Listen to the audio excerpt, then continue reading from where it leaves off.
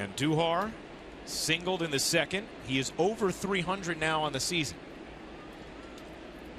He has been red hot.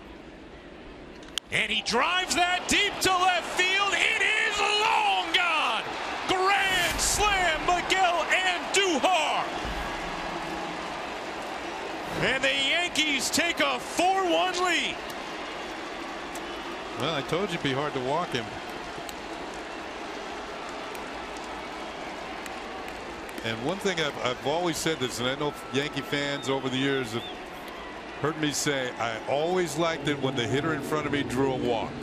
The pitcher is trying to get back within the strike zone. And O has not done the job. Hit a batter, walked a batter, and now giving up a grand slam home run. First career grand slam for Miguel Andujar. and he is mobbed by his teammates. He knew it. Kind of gave it the salute with his bat. This is the most you can score on one swing.